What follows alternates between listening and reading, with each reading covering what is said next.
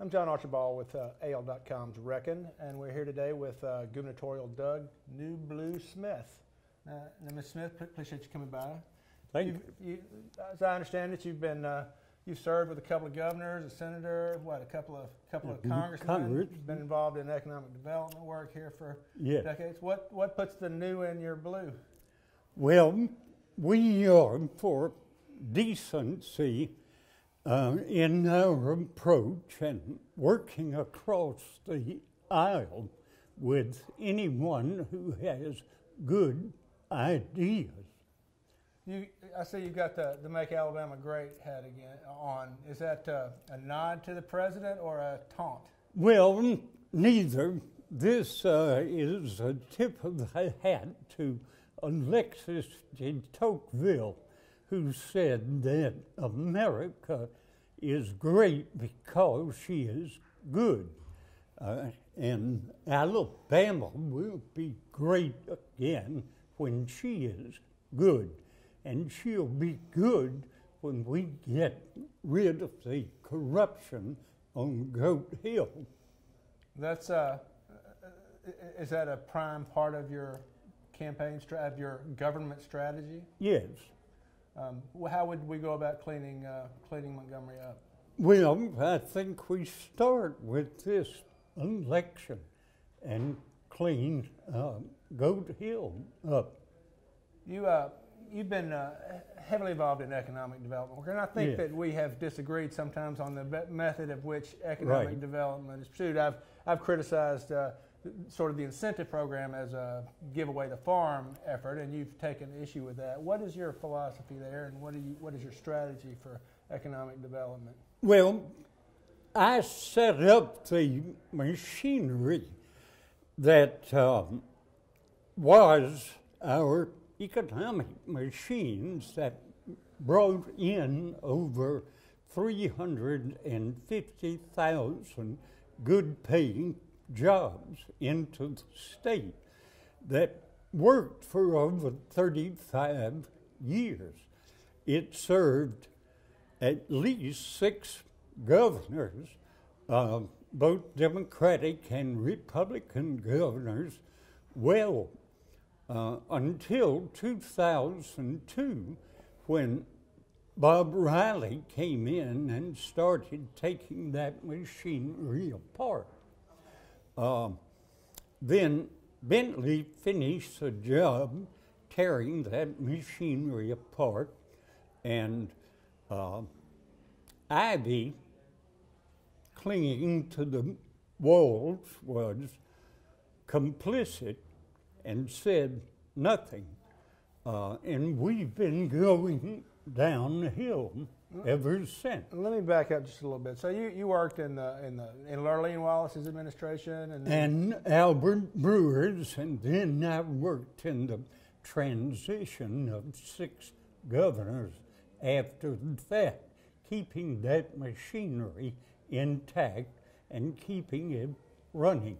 And when you talk about that being dismantled, uh, what was dismantled in 2002? Um, Riley took the Office of Intergovernmental Affairs apart in Washington. He dissolved it, fired Ronnie Flippo, its executive director. He uh, started dismantling ADO, the Alabama Development Office, and Bentley abolished AB, ADO and separated it from ADECA, the Department of Economics and Community Affairs, and Bentley separated ADECA from the Regional Planning and Economic um, um, Department of Economics and Community Affairs from these regional planning commissions. Well, and what was the purpose of that? I don't know. I think it was mostly ignorance. They didn't know how it functioned and how those interfaced with the Appalachian Regional Commission's local development districts. They all sang in symphony together and built hundreds of industrial parks throughout the state. And we invited industries like Mercedes Benz and Honda and Boeing and Martin Marietta uh, and Honda and uh, Toyota Mazda, the whole works. Sikorsky, the whole works, and hundreds of smaller industries, and paid part of their capital cost of coming here, which you don't agree with. But we paid about $350 per job, which was largely paid for with federal funds. Well, yeah. Well, I don't want to get into our argument. I just think that we need to make sure that we get what Right. we pay for and we hold them accountable when that happens. Right. Um, but as far as some of the issues that people are, are more uh, you may be connected with, I mean, what, what do you? Does Alabama have enough money to function? No, And how do we What- get that money? What happened when they took this machinery apart, when Riley came into office in 2002, the state's budget was 49% federal funds. By 2014, in Bentley's administration, it had dropped to 37% federal funds or less, a 12% drop. Now, based on the budgets being passed this week, which is $14.6 billion, 12% of that equates to one and three quarter billion dollars plus. That shortfall is why we have a shortfall in virtually every department in the state. That's why we can't fill our potholes, why we can't stripe our roads. That's why our mental health department's in crisis, why our schools are malfunctioning, why our National Guard has been cut from 22,000 troops to less than 12,000. Why our Highway Patrol has gone from over a thousand troopers to less than 250. Why our state parks have closed on, on, and on. Right. And, and the problem, of course, is that the legislature sitting down there with uh, all of whom have no new taxes pledges, and none of them Right. whom like well, uh, many who don't like lottery and don't uh, want to think about things like legalization of marijuana, other potential. What do you think about any of those issues? How do we raise money? Well, I think that you put the economic machinery back in place and use those mechanisms to turn the spigots on again and get those federal funds once more. We are heavily dependent upon federal funds. Mm-hmm. Governor Lurleen had the right idea. She would accept the federal funds, then ask for waivers for any regulation that she didn't agree with. Did- That's the proper approach, I think. Right. The, the, the, the problem is those are sort of long-term solutions, right? And No, they can be done quickly. how quickly do they pay off? I think they pay off quickly. A grant in aid doesn't take long. Plus, President Trump is looking favorably on block grants. I think that we ask for block grants, and an aggressive governor can lobby the Congress for block grants. No, do you- Our governors have not been testifying before the Congress. They have not been aggressive in changing this system. you at the same time you do this, you can solve the national debt problem by switching to block grants, which is more efficient than this grant and aid system. There are 1,022 grant and aid programs which are terribly inefficient.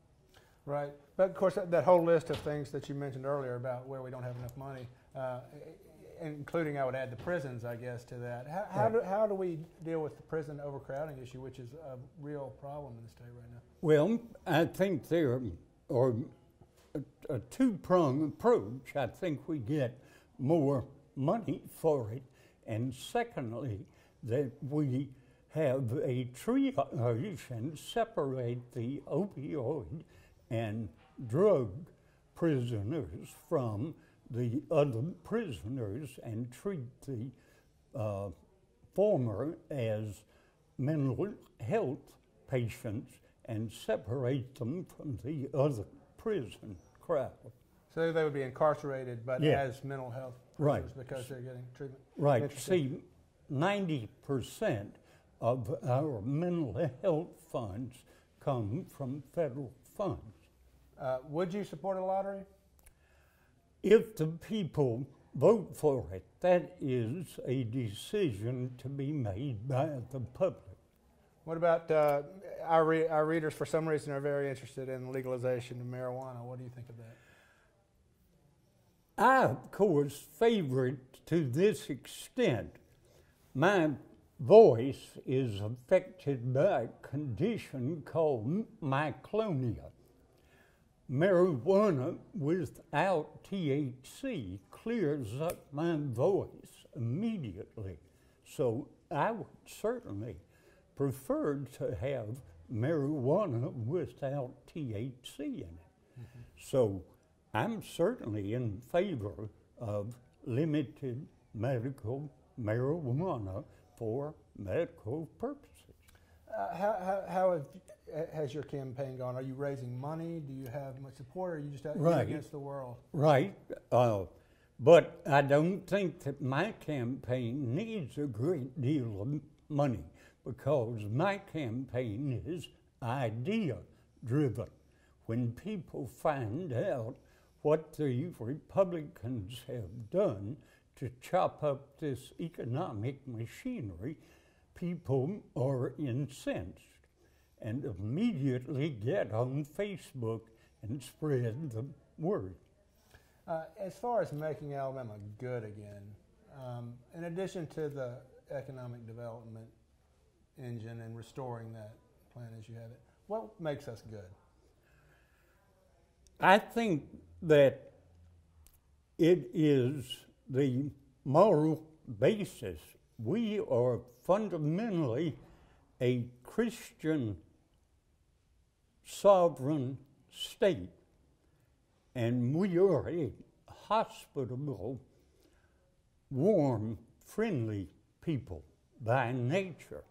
Uh, it is not our nature to be um, corrupt and to act in a greedy, selfish manner. We weren't raised that way. That is not our upbringing. That's a pretty bold statement for somebody who lives in Montgomery. Yeah. But uh, I appreciate it. Well, uh, Doug Newblue Smith, I really appreciate you coming in, and uh, good luck to you. Thank you. Thank you.